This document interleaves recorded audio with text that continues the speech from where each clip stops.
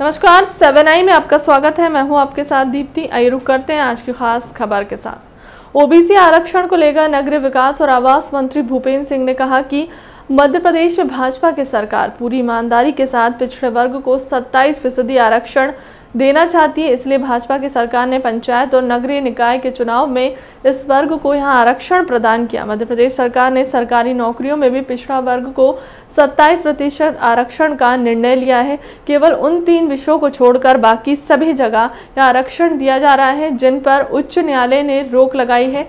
आज ही budget notification में मध्य प्रदेश की भाजपा सरकार ने अगले साल 24 अप्रैल से होने वाली पीएससी की परीक्षाओं में ओबीसी के लिए 27 प्रतिशत आरक्षण देने का भी निर्णय लिया है। हमने सरकारी नौकरियों में भी ओबीसी को 27 प्रतिशत आरक्षण देने का निर्णय लिया है। जिन तीन विषय में उच्च न्यायालय का स्टे है, उनको छोड़कर बाकी में हम ओबीसी को 27 प्रतिशत आरक्षण दे रहे हैं। और ये आज का राजपत्र का नोटिफिकेशन है। इसमें अगर आप देखेंगे तो जो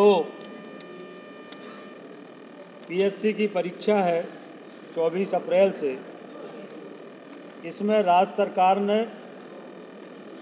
27 परसेंट आरक्षण देने का निर्णय लिया है। इससे स्पष्ट है 300 पदों पर भर्तियाँ होंगी और 27 प्रतिशत आरक्षण का लाभ दिया जाएगा।